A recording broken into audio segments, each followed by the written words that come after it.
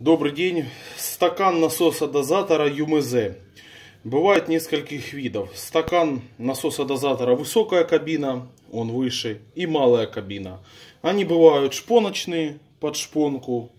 Вот это маленький под шпонку. И иногда встречаются шлицевые. Вообще обычно это МТЗ, но иногда встречаются карданы, когда на ЮМАЗе стоит тоже э, карданчик, где нужны шлицы.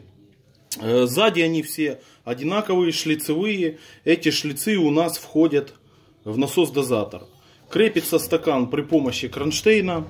У нас есть видео, кронштейны бывают нескольких типов, подешевле 5 мм, в данном случае 8 и есть усиленный 12-15 мм. Стакан крепится на специальные вот эти вот отверстия. Вот, и сюда крепится насос-дозатор.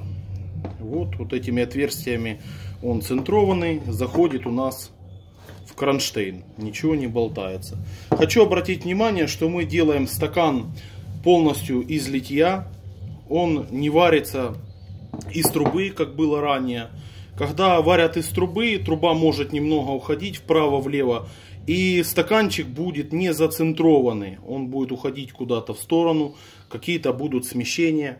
Когда делают на токарном станке, делают базу, все в центрах, здесь стоит 205 подшипник, стопорное колечко и уже ничего никуда в сторону не смотрят.